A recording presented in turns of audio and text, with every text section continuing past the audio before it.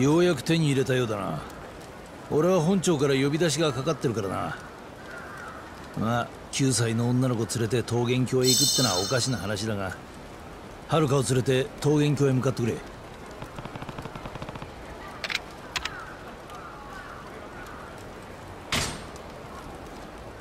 分かった。遥行くぞ。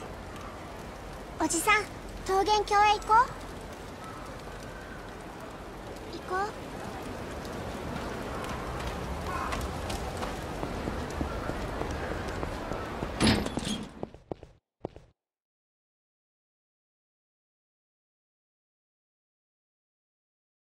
行こう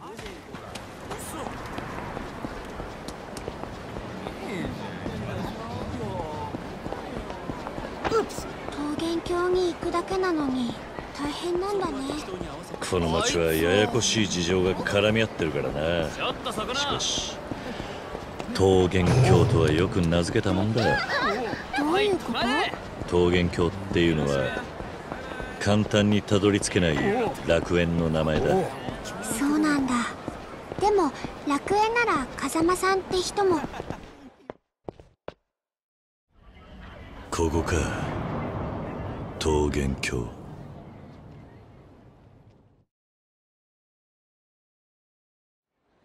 行こう桃源郷の会員証をお持ちですね。どうぞ。いらっしゃいませ。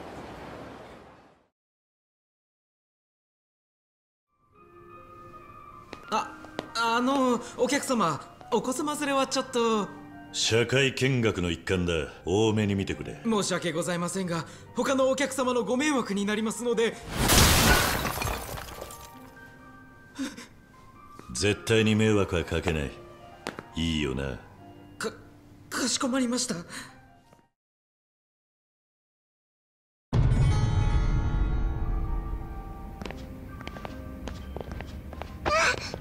いよ。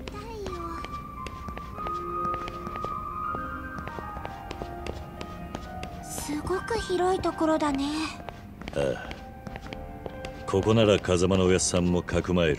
信じのやつよく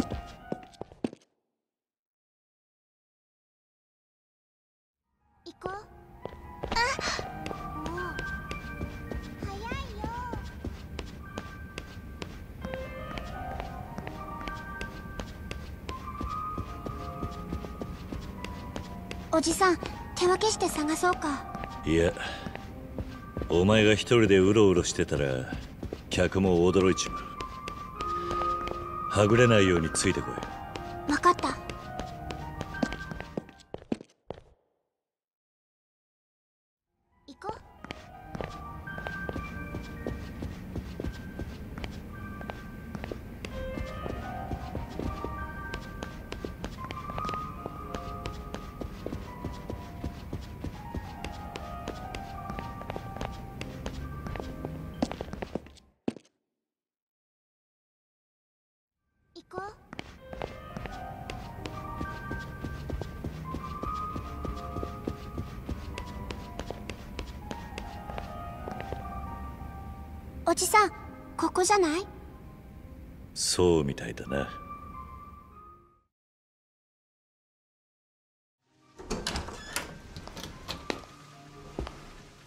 しゃいませ。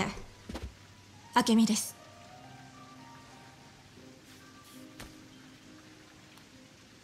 桐生だ。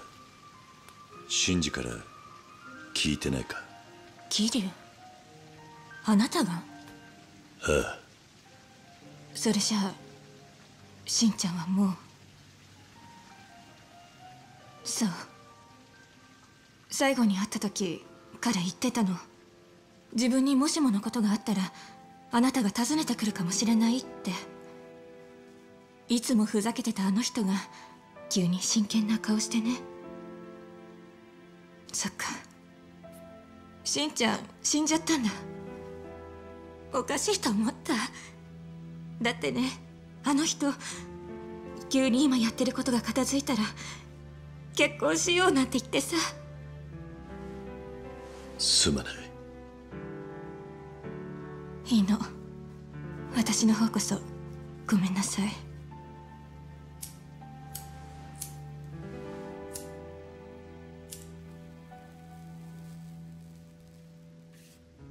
風間さんね。確かにここにいたんだけどしんちゃんの知り合いが来て連れて行っちゃったの。誰だ？近江連合の寺田さん。近江連合？そいつは本当に真治の知り合いなのか？しんちゃんは信頼してた。だから私も。場所は？芝浦よ。不当に止めた船に連れて行くって言ってたわ。そうか。それともう一つ。しんちゃんこう言ってたわ。錦山組は100億の他に世良会長の遺言状を探している。それに次の4代目が指名されているんだって。遺言状？そんなものがそれじゃあ錦はそいつを握りつぶそうと。しんちゃんはそう言ってたわ。何？いい音聞かせるや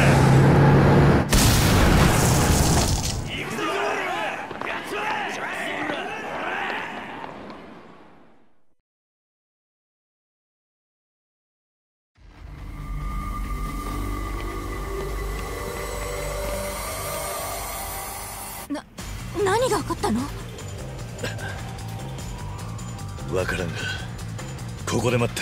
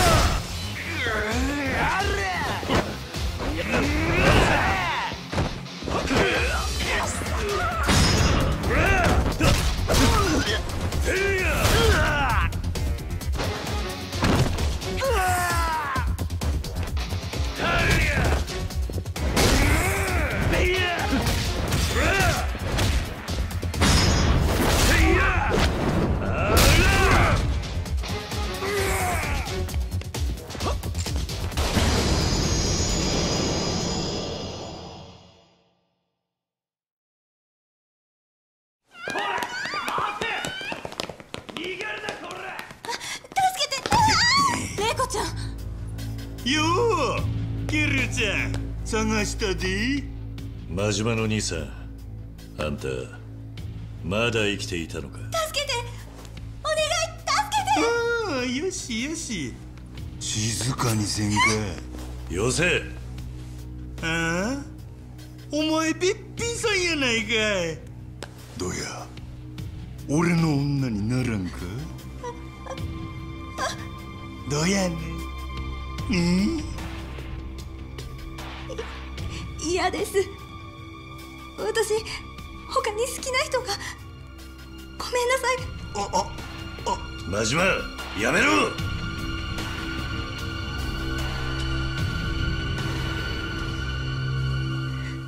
そうか。正直な子や。え？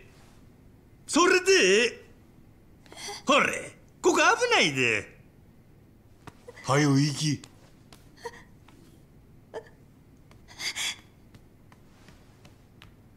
読めねえなあんただけは。俺は正直者が好きなだけや。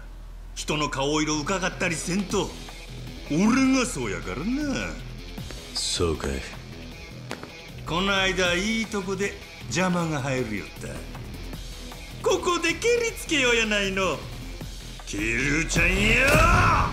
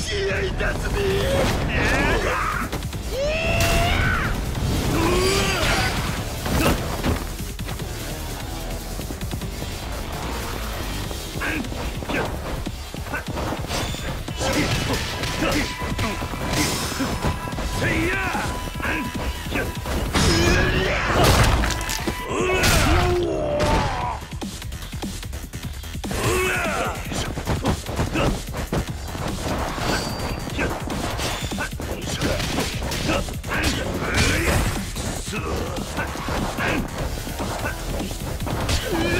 ん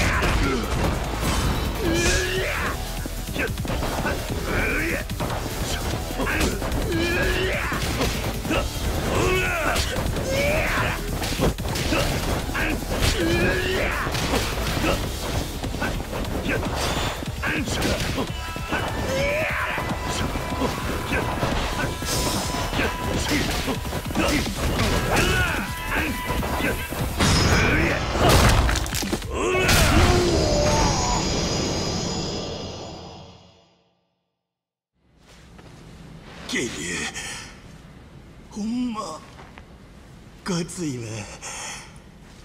お前が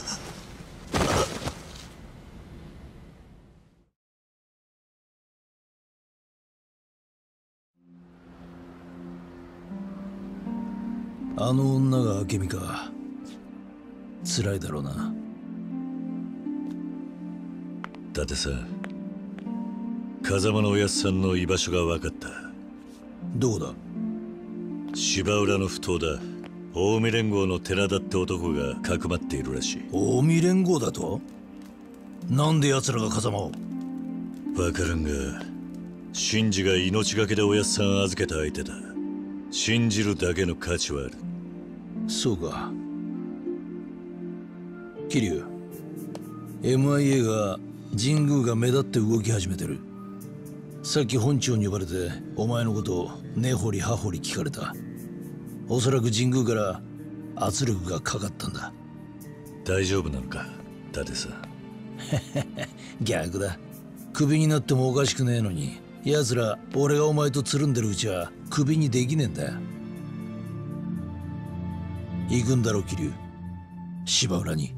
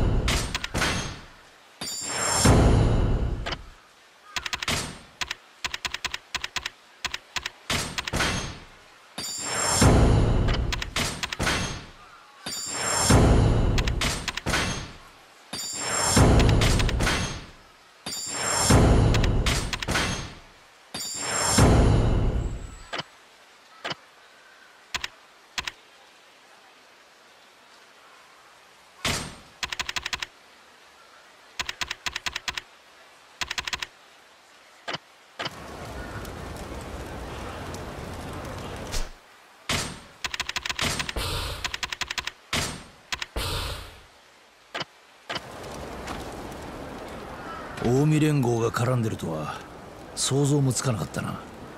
俺はお前とは別行動で MIA と神宮の線を当たってみる。芝浦に向かう前にここでしっかりと準備した方がいいぞ。準備できたら俺に言ってくれ。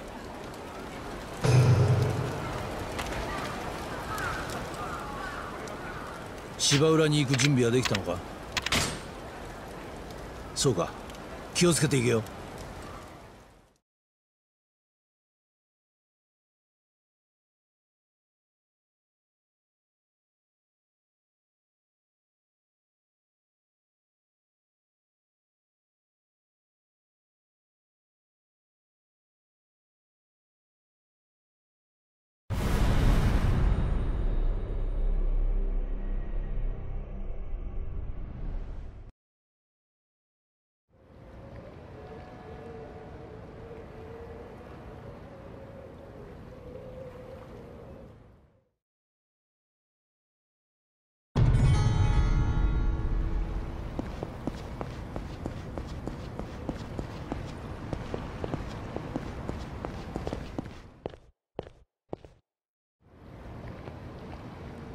あの人。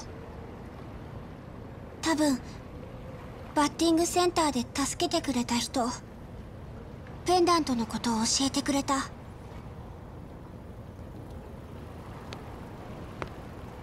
行くぞはるか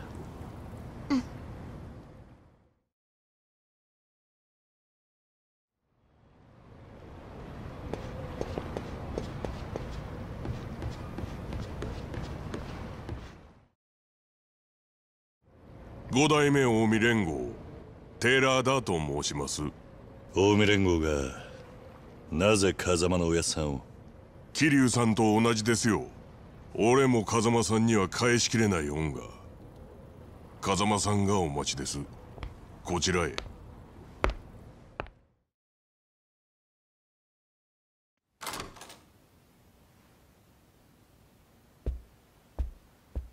よく来たなカズマ。おやっさんご無事で？すまなかった。苦労をかけたな。あの寺田って男はもともと俺と同じ元ヒットマンだ。そうだったんですか。近江連合本部長の肩書きで登場会に探りを入れてもらってた。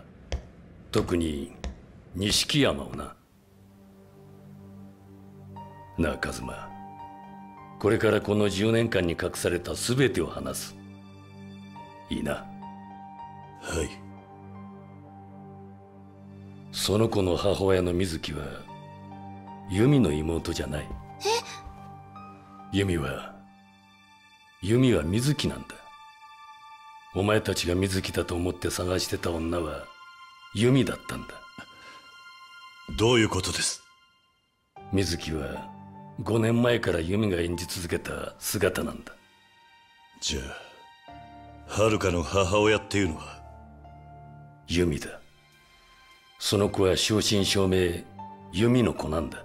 弓お姉ちゃんが私のお母さん。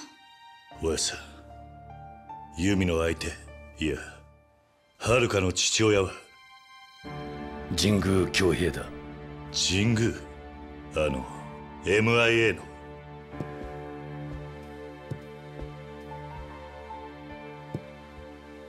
9年前の写真だ。由美が抱きかかえているのは遥か。横に写っているのが神宮だ。由美が事件のショックで記憶を失ったことは知ってるな。はい。事件の翌日由美は何もわからないまま病院を飛び出した。だがあの子の体は覚えていたんだよ。自分が生まれ育ったひまわりの場所をな。ひまわり俺は連絡を受けすぐに由美を手元に引き取ったんだ。そしてあの子の記憶を戻してやろうとした。何枚もの写真を見せた。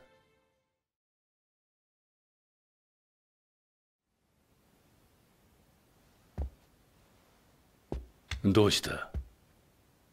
雨。ん？雷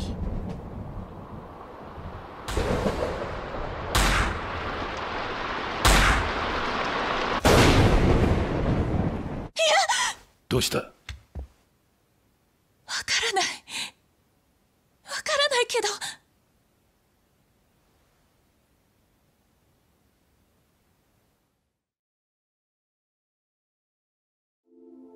俺はその時分かったんだ。堂島組地を殺したのが本当は誰だったのかをな。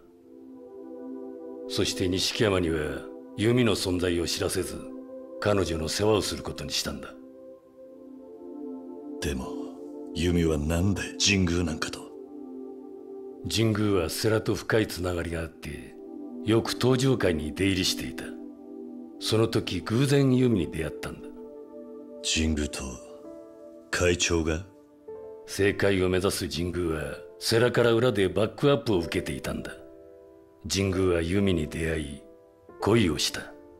そして記憶を失っていた由美は心の隙間に入ってきた神宮を受け入れた。俺は止めることができなかった。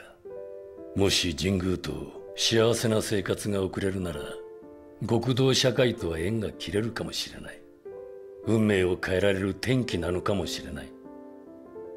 そう考えるとユミの幸せは神宮との生活の中にあるような気がしたんだ。そしてユミは神宮の子を産んだ。それが遥だ。だが神宮のもとに総理の娘との縁談が舞い込みその時籍を入れてなかったユミは自ら身を引いた。神宮のためを思ってな。だがそれが歯車を大きく狂わせていったんだ。所詮神宮が手に入れた権力は他人から与えられたものだ。だが奴はそれを守るために少しずつ変わっていった。自分の中では正当化しながらその後ユミとハルカは俺がまた面倒を見ていた。そしてある日世良に神宮から緊急の電話が入ったんだ。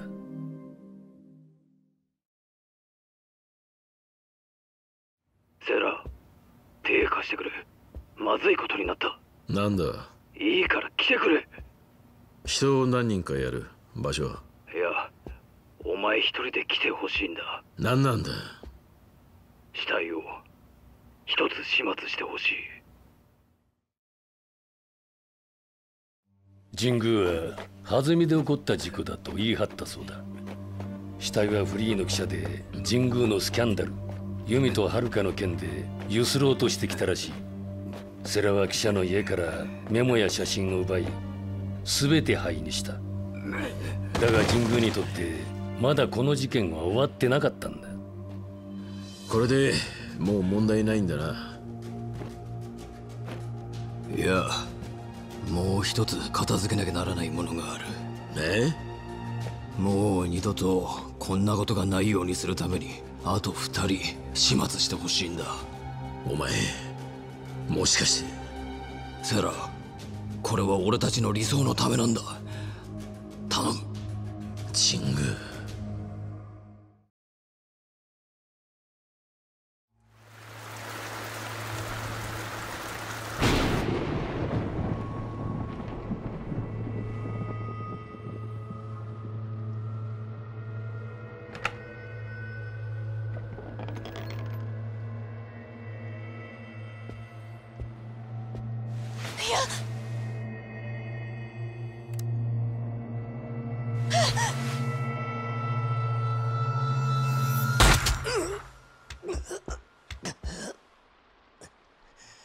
何やってるか分かってんですか？三代目。風間さん。これは神宮との約束なんです。女子供を犠牲にしてまで守らなきゃいけない約束ですか？そんなもんがあるわけねえだろ。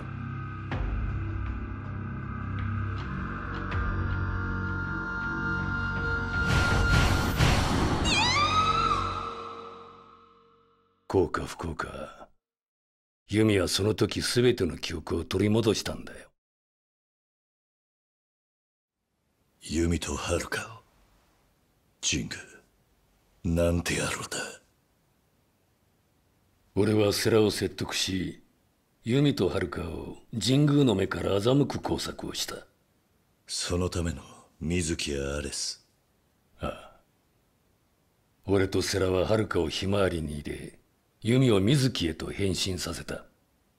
人弁し偽造屋を雇い弓の顔を変え架空の戸籍や記録を作り上げてな。でもおやさんなんでユミは登場界の100億を盗んだんですか？あれは登場界の金じゃない神宮の100億だったんだ。風間さん島の組の連中がここはヤバいです。島の目無茶しやがる